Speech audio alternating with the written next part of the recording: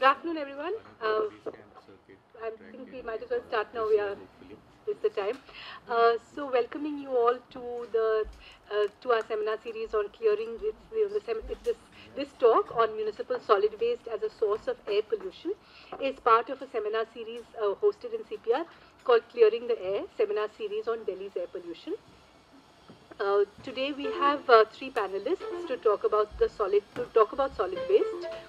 Um, first, we have uh, Ravi Agarwal, who is the founder director of Toxics Link. Uh, then we have Nalini Shekhar, who has come from Bangalore, and she's the co-founder of an organization called Hasiru Dala in Bangalore, which is quite well known in Bangalore, but most of us from Delhi may not know much about them.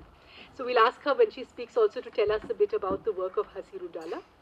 And uh, finally, we have Dr. Seema Avasthi, who is uh, who's an engineer and she's a specialist in solid waste management. And she is the founder and director of a consulting company called ICUC Consultants Private Limited.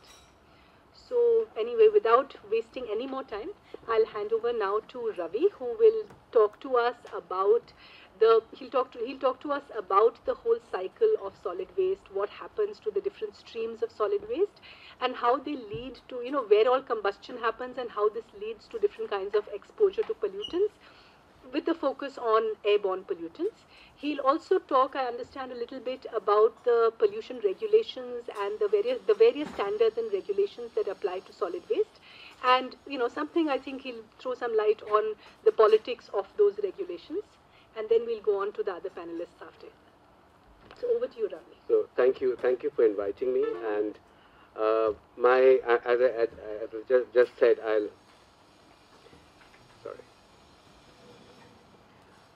Uh, I'll start with our uh, organizational involvement with the idea of air pollution because I want to give some insight into how these policies came about, how these processes are starting. Of course, now everybody's talking about air pollution, uh, but there has been some history of our involvement with the idea of waste and air pollution. Uh?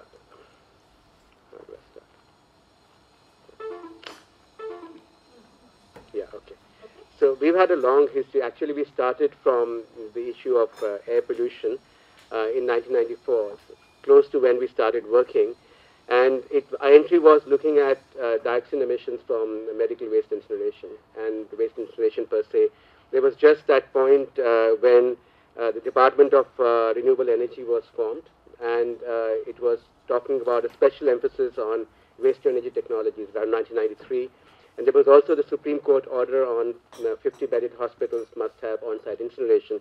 That's the time when we stepped in. We made a, a document called "Be Careful with That Cure," a research document uh, looking at uh, the idea of emissions from incinerators uh, worldwide. And this was presented to the Supreme Court, and then it led to the change of the dioxin and incinerator standards in, in, in, as part of the national legislation. And then subsequently, we've been working on mercury emissions in 2001, lead and heavy metal emissions 2013, and ash issues. What happens when you when you burn the uh, when you finish combusting something?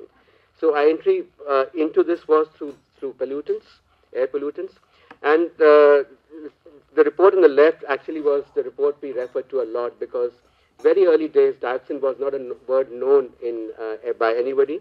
Uh, it was something which was introduced through a national campaign, uh, but one of the key documents was this uh, health assessment document of dioxins, which is a draft document of the US EPA, which came out in 1994 and late, later came out as the final document. But this had excellent data on both on source emissions, also in percentage of emissions of dioxins from incineration and medical waste incineration.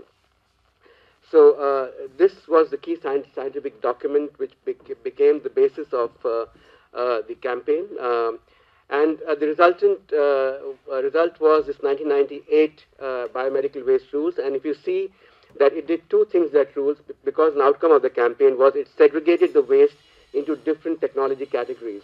And this was completely to do with the kind of emissions which these technologies uh, uh, emit. And the second was, it's probably the only law in the world, incineration law in the world, which still stands that uh, the mm, uh, uh incineration of, uh, of chlorinated or chlorine-treated waste is prohibited, both in medical waste and in municipal waste. I don't think there's any other standard like that. And the reason was that we wanted to avoid the dioxin standard, very, very expensive to, to maintain and to regulate. and to go down to preventive uh, route. And uh, uh, now coming down to how this this is really one of the problems is how, what's the source, uh, how much source appropriation can you do to uh, municipal waste? Uh, there's not so much data out there. This data report you must have seen in the last few days, a very well-known report, it's quoted everywhere. Uh, it's um, uh, IIT Kanpur, um, Sharma and uh, Dixit report. And you may already have seen these three figures of the percentage. Overall, what it says is that it's about the that it makes a statement that the contribution of uh, of MSW burning, is talking of open burning, not of incineration, uh, is surprising, could surprise many people, and attributes about 89% on PM10 and PM2.5. What it doesn't do, what no studies do, is look at other incineration, uh, other emissions, because as you know, waste is a very complex material, and uh, you cannot just limit yourself to uh, only uh, PM10, the classic pollutants of SOx, NOx, and PM10, PM2.5. Uh, the second point I want to make is about the complexity of the waste stream. This is uh, a policy brief from a, a study, inter-organization study we did over some time, looking at uh, the main principles uh, which underlie uh, waste management as a, as a, as a policy um, sort of support document. And it says there that the waste flows are far more complex than official recognition of the formal system. And this, it, this diagram will show you a bit of that, that from the point the waste is generated and to the point where it's supposedly disposed, there are many, many cycles uh, which go on. There are many places where waste is, uh, is uh, diverted, it's handled, and could also be uh, combusted. Uh, and um, if you look at the standards, the standards are only for end of the pipe technology standards. We almost have, uh, th so this part is not recognized, except in the last municipal waste rules of 2016. There's been some recognition of this in a very, very sort of uh, uh, abstract kind of way, but not this, this, this, this complex stream is not recognized. And it's very important to recognize this complex stream because no matter what the aspirational uh, you know, decongestion of this might be in the future. Currently, and for some time to come, this will certainly uh, uh, be, and this is done by the what we call popularly as the as the informal sector. but also, there's a there's a there's a continuous gradation between the formal and informal sector, what we classically call the formal and informal sector. So you see things like this happening everywhere. And uh, there have been some studies which are not in the public realm. GI, GIZ did a study on emissions of dioxins from waste burning. Uh, they haven't released it because the results were, I believe, quite disastrous, and it was done with the government. Uh, so this is a, this is a burning of PVC coated copper wire to get the copper. And of course, now we're saying, okay, let's talk only MSW, but MSW and other waste streams are quite mixed up in a sense of how, who handles it, how it's handled. So we have different waste streams formally, but uh, actually uh, the segregations are improving, but they're not so good as yet. Uh, this is something you see uh, open burning everywhere, or you see uh, in waste landfills, and I have a picture of that too. Uh, this is this is slide to show the um, recognition of the informal waste collector and the waste picker in the new 2016 rule. It was for those who were engaged with this, it was a very big battle because just to acknowledge the fact there's something called informal in a formal legislation, or there's something called waste picker who's not identified uh, as an entity, uh, was something, um, I think it was uh, from the 2000 rules, the 2016 rules, it was recognition of the fact that if you don't recognize this, you have no way ahead and you cannot really come up with any workable system. Uh, this is something you see on, on the landfills. You have to go to any landfill, you will find uh, the simmering, uh, burning, primarily because of high uh, temperature in the waste heaps. And uh, there are aspirational campaigns which happen all the time. Uh, such as burning of leaves, etc., which is, uh, a, I, I, think, a very high source of particulate matter. Uh, but the systems to, uh, to support them are lacking. Uh, now, I'll just quickly show you that even in, in all the waste laws have been revised as in 2016. So if you go to the website, you'll find the latest revisions. They have been sort of made more practical.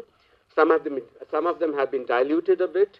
Uh, this is the biomedical waste law and the incinerator standard. So in the incineration standard, uh, there there's a whole document out there which tells you how to put it, how to make it. It's a very detailed engineering document. And that is because the first draft of this came out in 1999, 2000. And uh, over the last 16 years, uh, there have been many facilities of biomedical waste which have come up in the country. And they have uh, sort of, uh, so this, this is a learning experience through which these new standards have come by. The specific case I want to point towards, which is an interesting policy case as well, uh, policy process case, is the Sukhdev Vihar incinerator, which is, which is called the Okhla Timarpur incinerator. And the picture you see is actually from the web, but shows the citizens of Sukhdev Vihar protesting on that. Uh, and uh, there were several things happening at the same time, and I got pulled into some of these discussions, both at the government and the uh, and the community level. Uh, there was a big push in the budget for incineration. So Mr. Chidambaram's last budget had a big subsidy for incineration, and when there was a big hue and cry, this uh, Kasturirangan committee was formed, the task force of the waste to energy, uh, uh, which does not recognize the emission problem to any great degree. So it's really about, it's, it's a document which says how to do it, but does not recognize the problems or the cost of doing it. And simultaneously, there was a report of the Technical Experts Evaluation Committee, which I was invited to be part of, on the Timarpur Okhla waste to energy plant. And when we evaluated the project uh, in the Central Pollution Board, we found out that the DPR, the detailed project report, had nothing to do with the final project which was on the ground. Uh, there were two components of the DPR talking of both the Timarpur um, uh, uh, plant to make the what they call the refuse driven uh, pellets um, fuel RDF, and that was to be to be in, to be incinerated. But this never happened, and what they put up was a mass incineration plant. And when we came to the question of emissions, they said we'll do it later. So it was a complete, it's a very strange process of a project of size of 200 to 300 crores being passed uh, with actually no environmental approvals on it. And that became the basis of uh, the, uh, the fight of the community, which unfortunately didn't go off uh, exactly what the way they wanted. It's very hard to uh, take away projects which are already installed. Uh, this, this table is from the 2016 municipal rules, and the first time in the municipal waste rules we have an incinerator standard and uh, it, uh, it deals with all the classical NOxes, but also deals with something you see there called total dioxin furans, which is 0.1 nanogram T, uh, uh, toxic equivalent or TQ per, per, nanometer cube. Essentially, this is the European standard. And if you talk to the European uh, regulators, they'll tell you we took 50 years to get to the standard. Getting this, making a standard is very easy, but getting the skills and the equipment and the regulatory quality for the standard takes a fair amount of time. It takes a lot of skill building and equipment building on the ground. We don't have any of this. So we have a 0.1 uh, nanogram uh, TEQ standard, but we have almost no ability at the moment to to uh, to uh, ensure the standard. And everybody gives the the the uh, reason uh, the the image of these in the middle of Zurich and and and Amsterdam. Those incinerators are about 500 million euros each and they cost a fair amount of the city's budget, and they're very, very heavily regulated. So without the ability to regulate these standards, these standards are just an entry point into anybody who can claim the standard. There have been uh, in the report and in the in the uh, NGT judgment also, which followed the community intervention, there were talks about putting online monitoring systems and all that. Nothing of that sort has happened. Uh, this is this uh, standard. I have marked out the yellow, the highlighted, just to show that the uh, idea of no, no chlorine-based uh, waste being incinerated continues to be.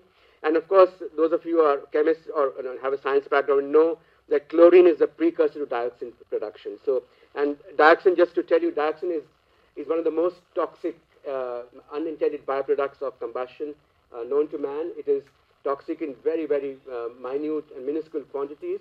It's the number one pollutant which has led standards across the world for all combustion. So it's the key, key, key pollutant which has led the cost of incineration high and the standards. So very ex extremely important pollutant. It's a POP, that means it goes into the body system. Uh, incidentally, India has one of the highest um, uh, um, uh, body uh, weight of uh, or, the infusion of dioxin-like compounds in breast milk, even though our incineration is very low. So we have a very high dioxin exposure, which is not recognized as yet. So just to come to the final two slides, just to wrap up, um, the, there are many dis dispersed sources of air emission impact from waste, sorry, that should be waste, which are not recognized, which are not measured, uh, and it is not recognized. The complexity of the waste stream flow is not recognized. We're only looking at end-of-pipe, landfill, disposal. And somehow the approach that waste disposal is more important than air emissions runs through, through the establishment. That somehow we should get rid of the waste. We'll look at the emissions later. So all the incinerators being built, the two second ones being built, there is no information available on what is the technology they're using, what is the filtration system they're using, uh, where will the filtration system go after it's been used. For example, if you use a baghouse filter or use a carbon injected filter, what, will happen to that because it's hazardous waste? Um, there's a rush to install high cost technologies. Many municipalities are bidding for them. They don't understand uh, the, uh, the technology. They don't understand the regulatory or the operational ecosystems. And the siting, siting is very, very important. So we, we take the standard and we assume that the standard will be met. There is no real emphasis on incentives to alternatives and cleaner ways of waste disposal. This has been talked about for a long time.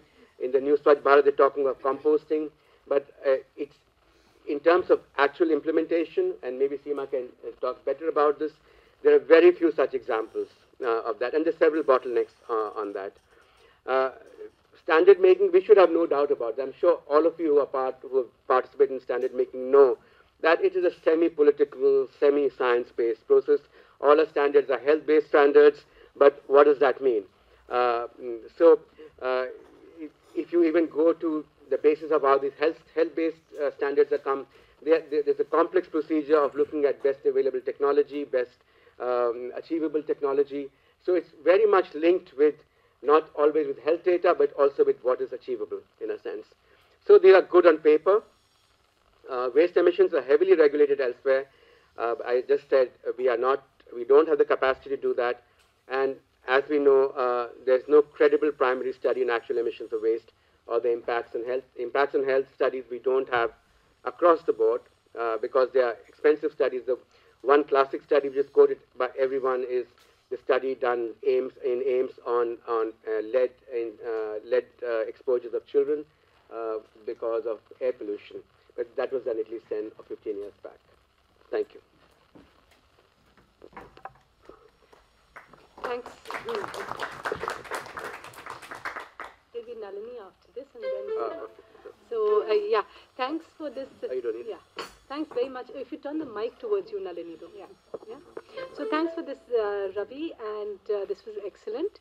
Uh, Nalini is now going to, I mean, we understand from, you know, uh, Dali, I understand that most of the work of Hasiru Dala and your organization and the many organizations you work with is focused on the waste pickers or the informal workers and their kind of integration into their role in the waste, in the management of waste stream and their integration in the waste system but you also have, I mean, it's not just a small intervention, you have a massive partnership with the BBMP, that's the Bangalore Municipal Corporation.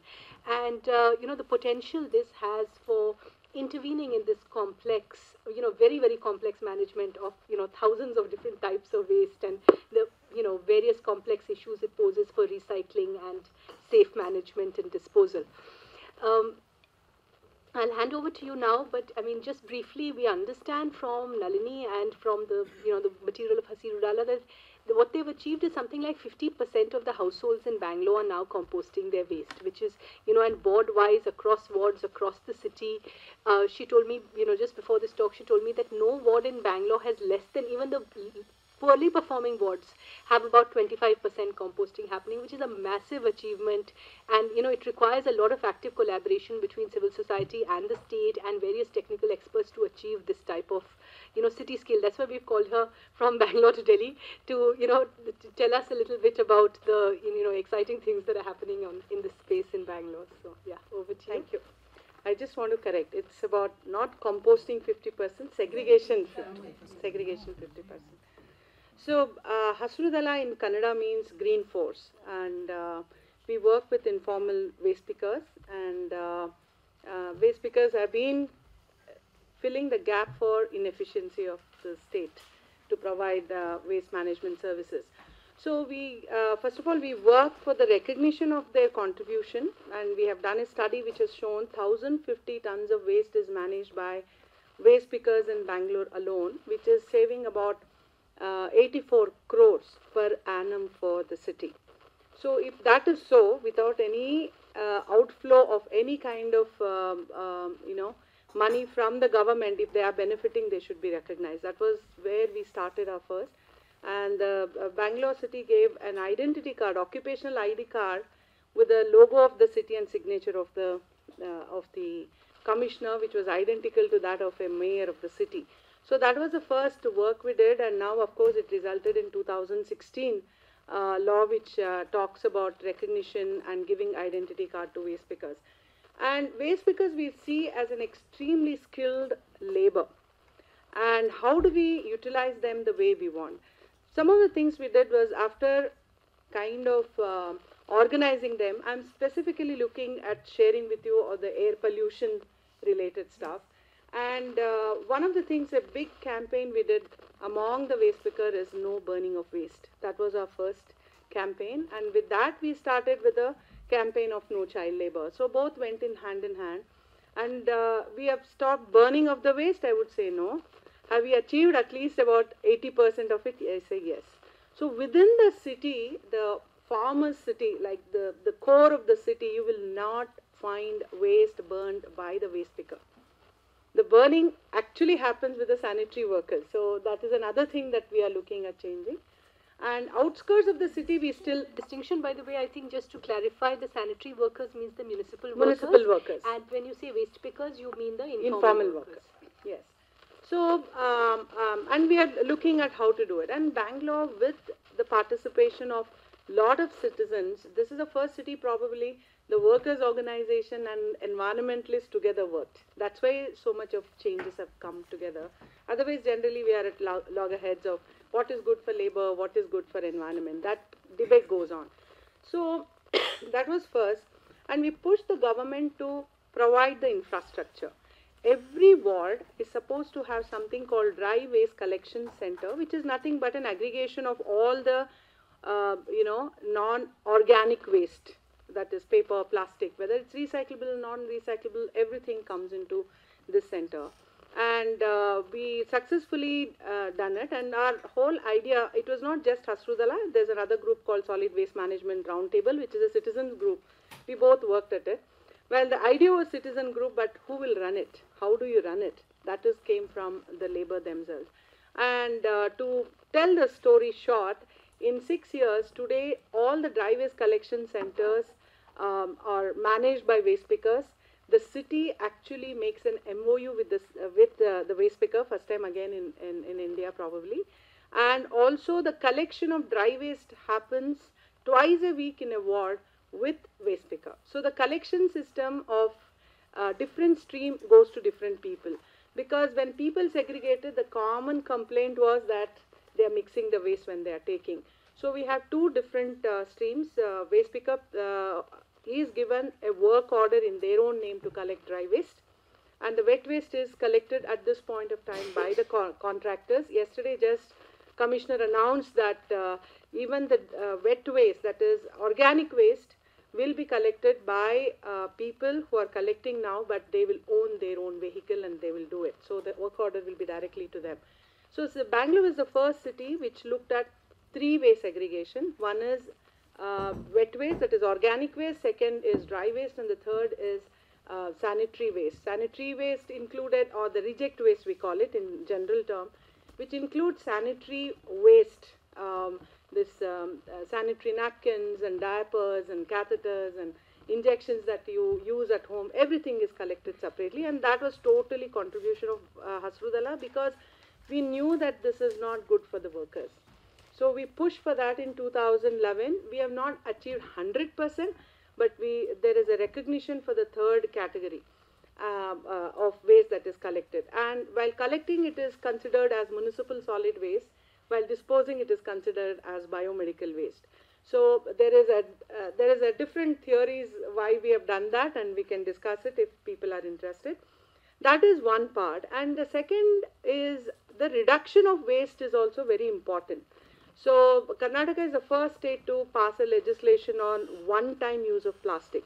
So there was a lot of discussion between the citizens and waste pickers because the more waste you get, you get money. The citizen said we don't want to do.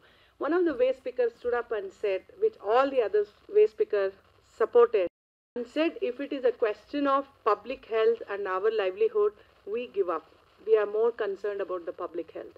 So uh, when that happened, and today the ban has been quite successful, I would say. If you come and see in Bangalore, you might see still uh, paper, plastic on the street in some areas where there is no citizen participation. Where there is citizen participation, you don't see. In some of the wards, you will see people going with saris to, you know, pick up, uh, uh, you know, uh, the uh, vegetables from the street vendor if they've forgotten to take a, you know, um, or a helmet if they've forgotten to take a bag. And if you look at the packaging that is happening in the hotels, it's a huge difference. Even McDonald's today doesn't serve straws and doesn't serve the lid. I thought it is across it has changed. It is not changed. It's only in Bangalore which has changed. The food that you get is all by, we don't get any thermocol material or I, I see a lot in, Bang, in uh, Delhi. We don't see that. That is replaced by the sugarcane bagasse. So the packaging from the restaurants have changed and all big restaurants have to do their composting within their own complexes. That has happened.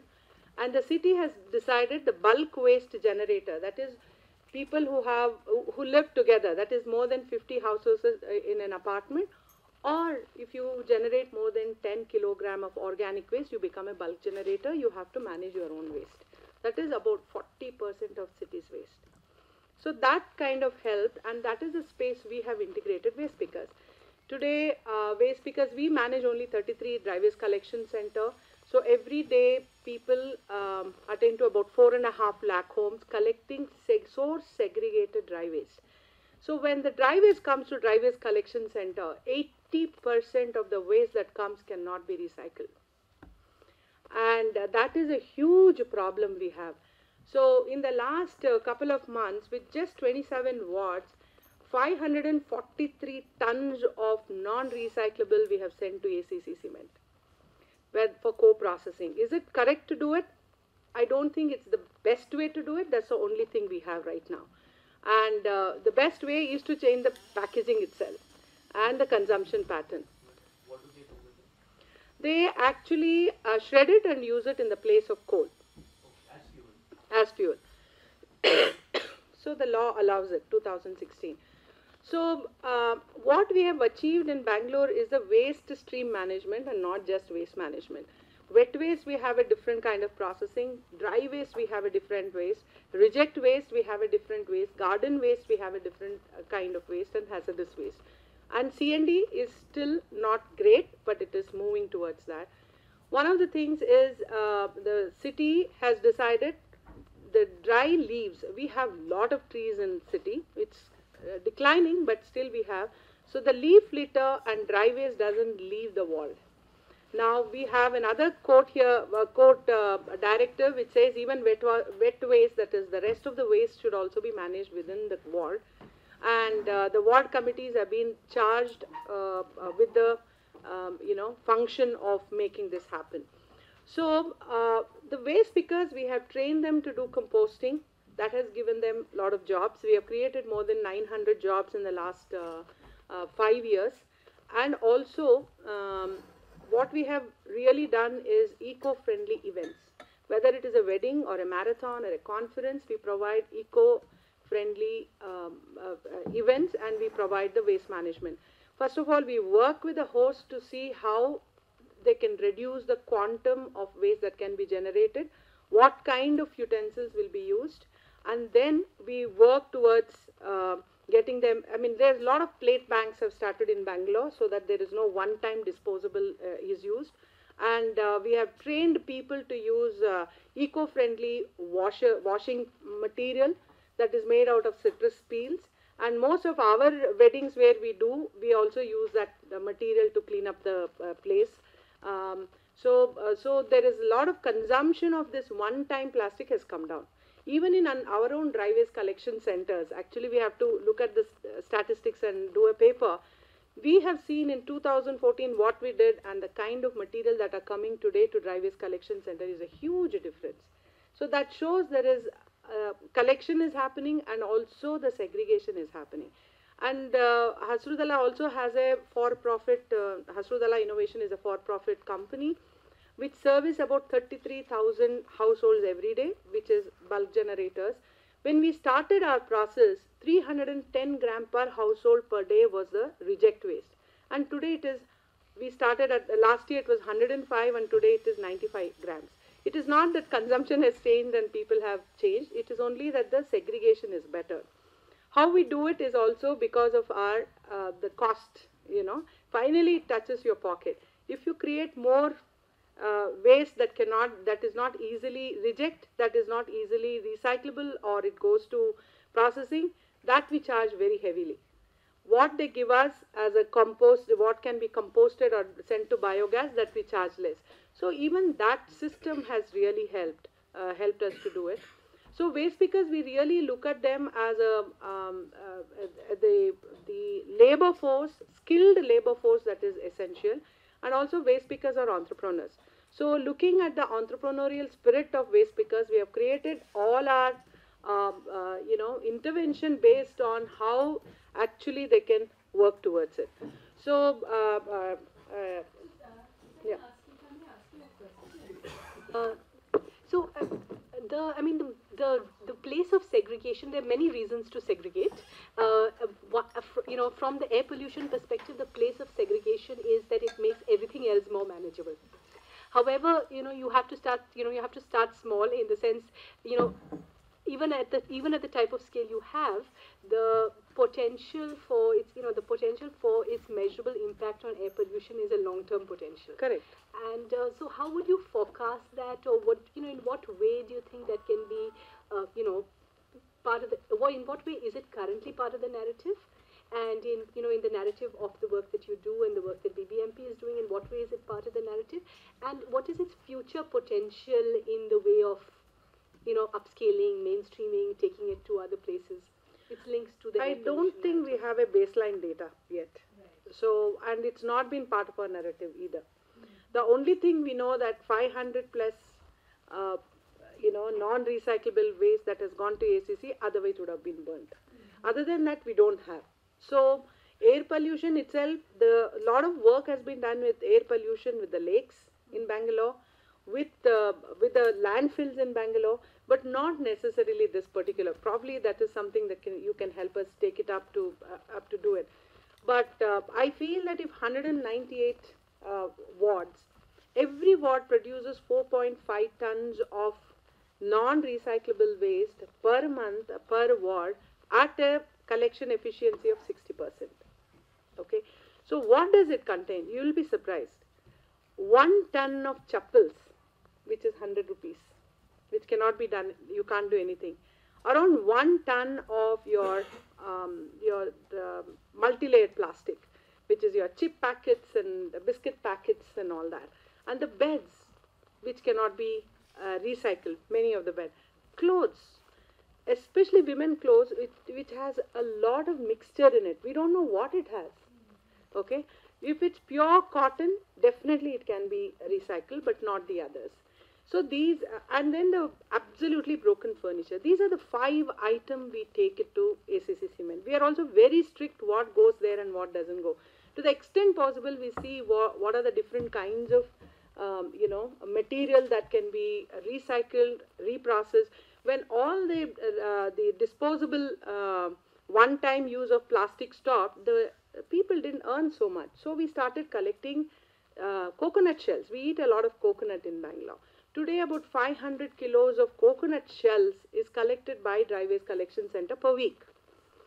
This was going to landfill, we started giving it to different people to use as a fuel.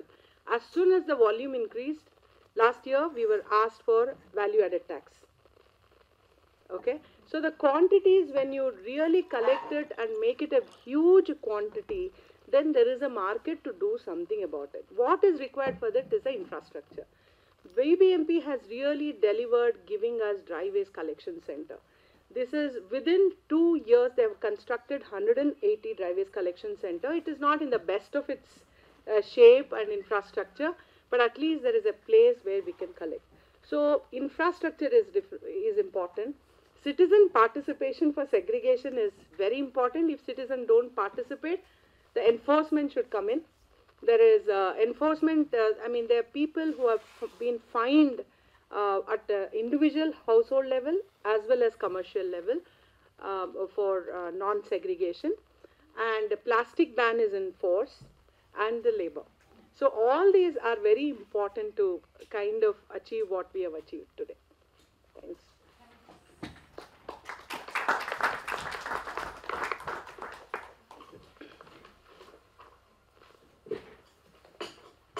Thanks so much, Nalini. And uh, now we'll hand over to Seema, who will talk. Uh, who will uh, who will talk to us about the technology. You know, she'll tell, take us through the main technologies and the approaches for dealing with municipal solid waste. More specifically, she'll also talk about the issue of dump sites. You know, the the challenges that dump sites pose to us at the moment, and you know what can be done. You know, the current problem is dump sites. In you know, in terms of eh, you know, the most major problem from an air pollution perspective and from many other perspectives is the dump sites. What can be done about to fix this current dump site problem? I've also asked her to tell us a bit about, you know, from her experience of many years and many cities, what can be done, what should have been done, you know, approaches that worked, approaches that didn't work so successfully, and uh, also about the standards and regulations and how the applicable standards and regulations affect the choices that are being made between different approaches. So I think there's some problem, but hopefully, uh, are you being able to find your slides? Uh, Seema, uh, think it's on Disha, will you help?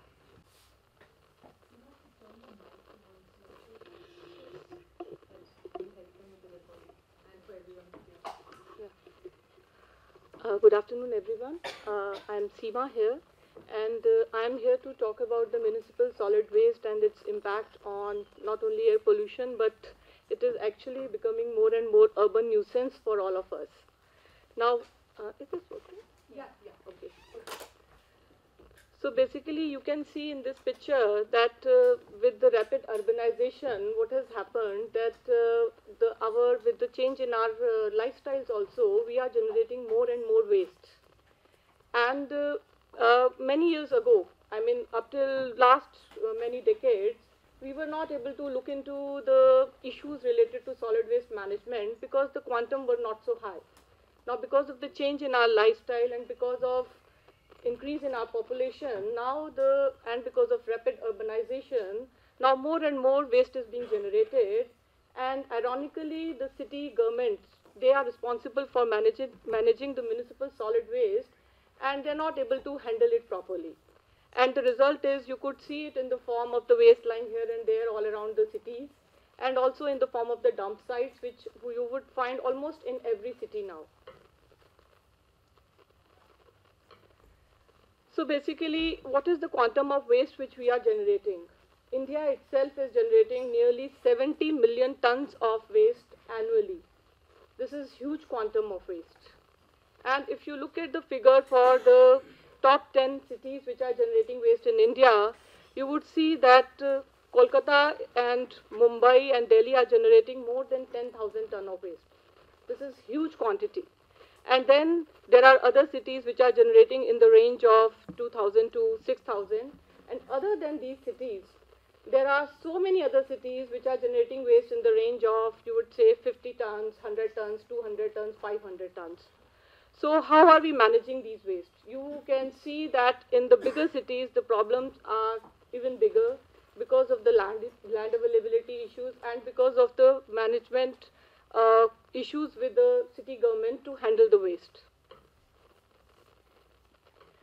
Now, if we look at the ideal solid waste management system, we have solid waste management rules which were uh, framed in the year 2000 and then they were again revised in the year 2016 And the rules they state that the system which should be there as per the rules is that you should have a door-to-door collection system where the waste is to be uh, stored by the generator in a segregated manner. When we say segregated manner, as Nalini pointed out, it's like it should be stored in separate bins as dry waste, wet waste, and then there is domestic hazardous waste, the sanitary waste which Nalini said. And the responsibility to collect that waste from the households or from the generator lies with the urban local body, the city government. They have to provide a system to collect the waste from door to door from the households. Now the bulk generators, it has been uh, now mentioned in the rules 2016 that the bulk generators, they have to take care of their waste on their own. But still for the households and for the small commercial units, it has to be done by the city government. Then this waste is taken in smaller vehicles by the waste pickers or waste collectors or sanitary uh, workers, depending upon the kind of system the city has, to the either community bins or dhalas or the places where we call them primary collection center, where the waste is unloaded. Now, in this in this uh, chain of event where the waste is collected by these waste collectors, they have their own system of segregation of waste and picking up the recyclable material out of it and that's where we call them as an informal sector.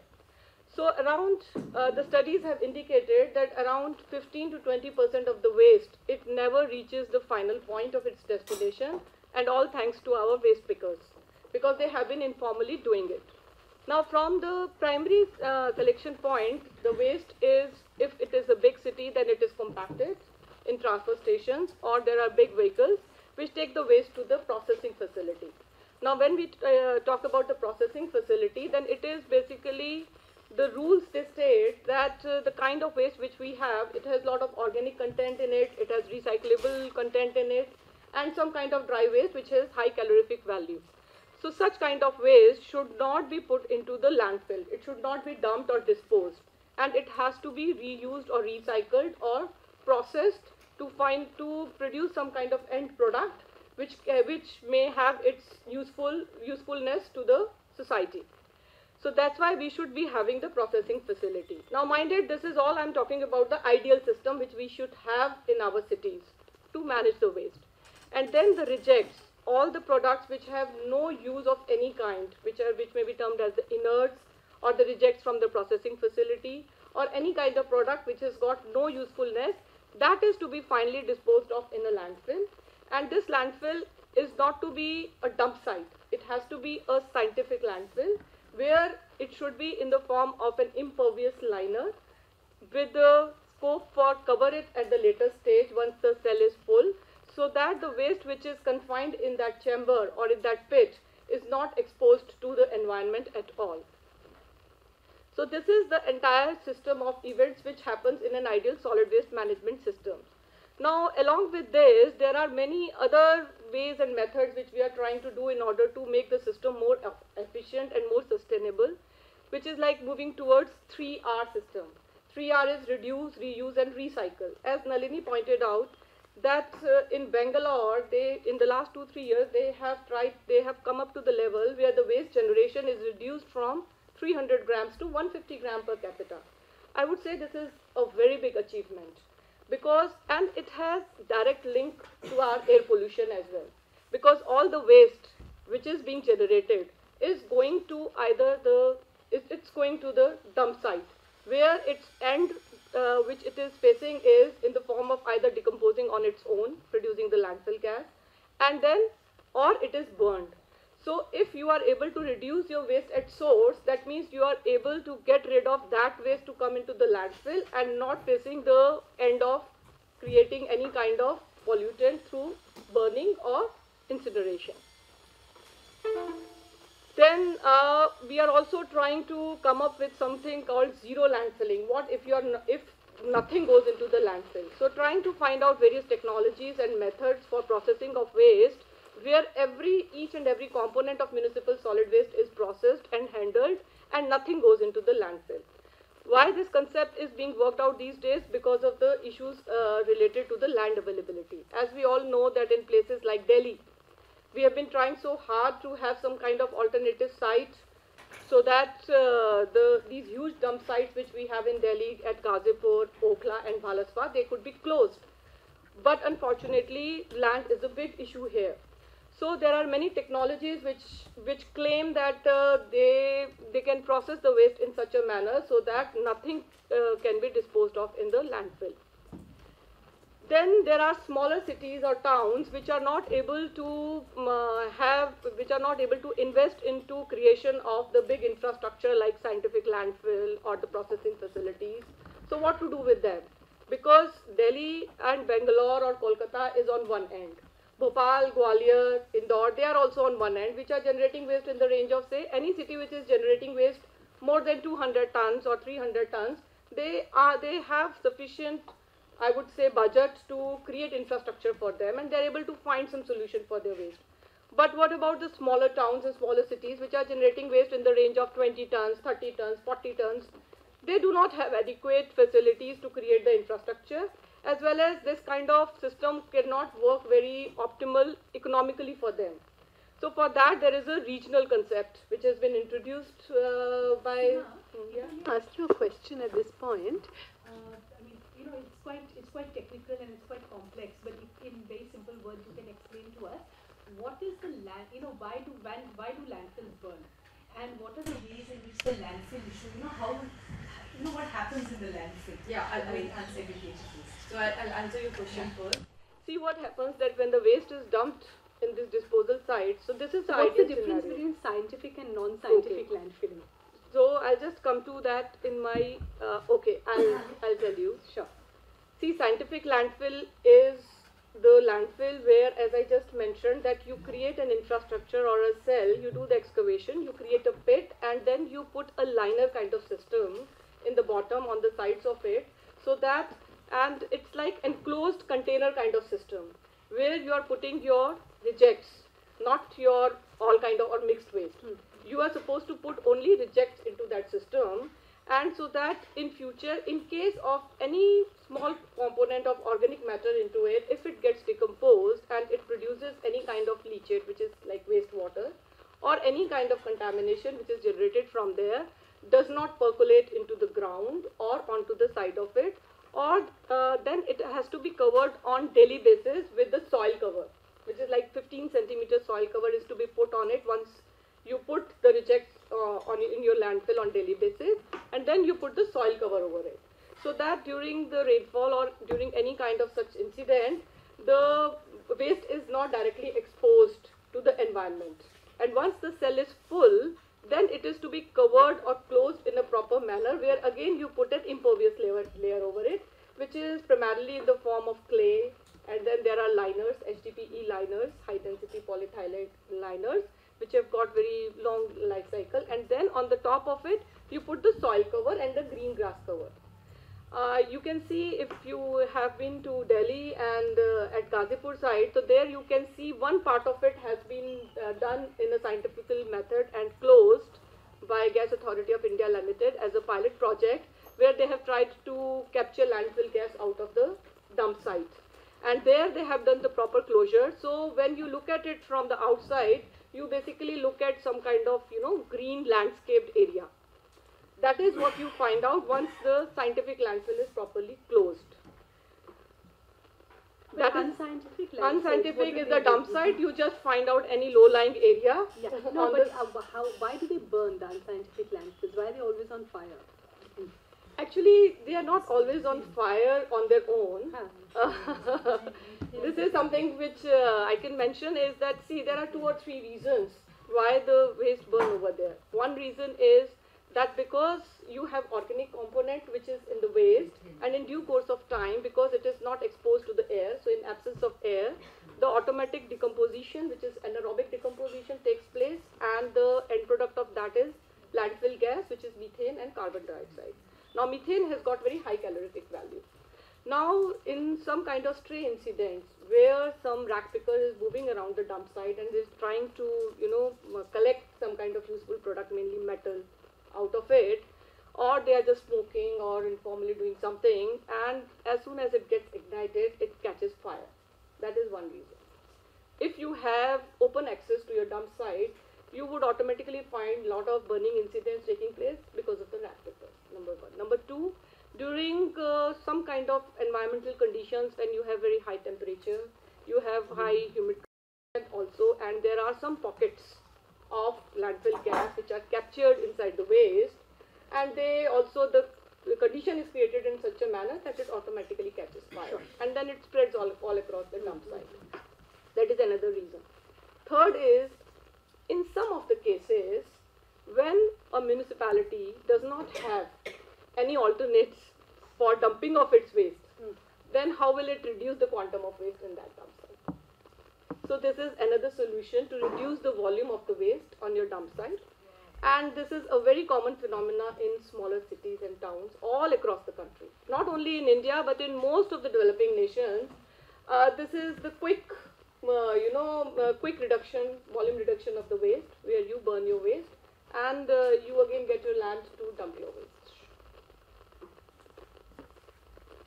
Now, in terms of the treatment options, these are various technologies which are available at the moment to treat the waste because you have to process it as per the rules requirements and you cannot put your organic matter and your dry waste which has high calorific value into the landfill. So you may do biomethanation which is primarily for wet waste. You may do incineration which is which can be done for mixed waste and for dry waste in itself. There are various technologies for that. Then you have this refuse derived fuel method which is a physical processing method which is primarily used for dry waste. You can use it for wet waste as well because in this process you basically segregate the waste and you dry it, you use the dryers and then you densify it and you put it in the form of pellets and use it as a fuel. And then recycling is uh, where uh, you have from the dry waste where you can recycle and you can recover the products and then the windrow composting. Now in, in, in India, uh, in the last decade, the windrow composting was promoted like anything by government of India, especially when the JNNURM mission was uh, launched and each and every city was uh, encouraged to use windrow composting method to process their organic content of waste. And uh, as Ravi also mentioned in his uh, presentation, that in 2014 onwards, the government of India, they shifted their focus towards the waste to energy option which is mostly either it could be in the form of biomethanation or it could also be in the form of incineration. Their main focus is on incineration, which is, I would say, is maybe because of the reason that uh, this is when you have to handle huge quantum of waste. And in terms of windrow composting, your end product is the compost. And now if you have to use that compost, because end product has to be utilized. So when you're trying to use the compost, it has to meet the uh, the comply it has to comply with the requirements of the compost composting standards. And somehow uh, the compost plants which we have in India all across the country many of the compost plants they faced this issue of not meeting the standards for using that compost for agricultural purposes. And that's why they could not utilize that compost. And that's why these compost plants could not be run successfully by the private operators. They could not earn the revenue so uh, recently, last year, Government of India, they came up with this uh, proposition and uh, the circular is already out where rupees 1500 per ton of subsidy is to be provided for running the compost plants. This is just to promote the windrow, to promote the composting uh, at the private level. But at the same time, waste to energy is also promoted in a big way because of the simple fact that it can handle huge quantum of waste in smaller area and you can get you know, immediate reduction in the volume of the waste because you get only 15 to 20 percent of rejects if you are burning the mixed waste there. This was all about the, um, you know, what the system should be. Now, if you look into the actual system which is there in our country, then the waste which we are generated, hardly 70 to 80 percent of waste is actually being collected by the city governments and not more than 20 percent is actually being treated. So what is happening to the remaining 80% of the waste? It is actually dumped in uncontrolled manner in the dump sites. So that's why the reason is that globally, it's not only in India, but globally there are almost 50,000 dump sites. And if you look at the data, which is which was uh, generated by the International Solid Waste Management Association in the year 2015, so you would see that the percentage population of these countries, like in South Asia, 90% of the population does not have any access to regular waste collection and disposal. So this is the system which we have not only in India but in most of the developing nations. And this is what has been happening in most of the dump sites. Now on the right side, I would like to talk more about that right side picture. It is the Ghazipur dump site last year and the white clouds which you can see is actually the smoke which is coming up from the waste and it is on its own. So this is the actual problem which we are having and the main problem with the burning of the waste is the generation of the methane gas which is uh, now the estimate says the kind of waste which is being dumped in our country around 35 million tons of carbon dioxide equivalent of greenhouse gas is estimated to be produced from these dump sites on annual basis. And open burning has got its own um, effluent gases, which Ravi also mentioned in terms of smoke, black carbon, toxic fumes, and uh, low levels of dioxin and furans as well. Apart from air pollution, I would like to mention that these dump sites have got other environmental issues associated, which is in terms of the leachate, wastewater which gets generated, soil water contamination, vector-borne diseases, odor, littering, etc. So now how should we address the issue? You close the dump sites. Quick solution. You create facilities for waste treatment because you don't want to send your organic matter or the recyclable product to the dump site. If you are not sending anything which is decomposable in nature to the dump site, then automatically there will be no production of any kind of landfill gas or the uh, greenhouse gas. And if there is no calorific value product which is sent to the dump site, then even if you try to burn it, there is nothing which can be burned. It's a simple science. And you create sanitary landfills so that whatever remains are there from the processing facilities are put in a scientific manner so that it does not create any kind of harmful impact on the environment.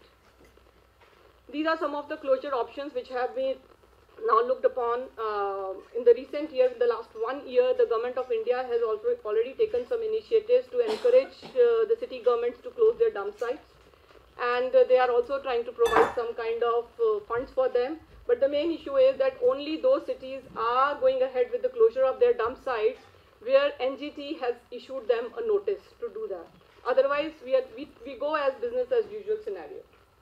But there are exceptional cases like Ghazipur where in spite of being issued the order to close the dump site immediately, they had to keep operating it because they did not have any alternative site. So if you look at the waste disposal option, then open dumping, why we do the open dumping? Simple thing because it is least cost effective and who cares for environmental benefit or technology.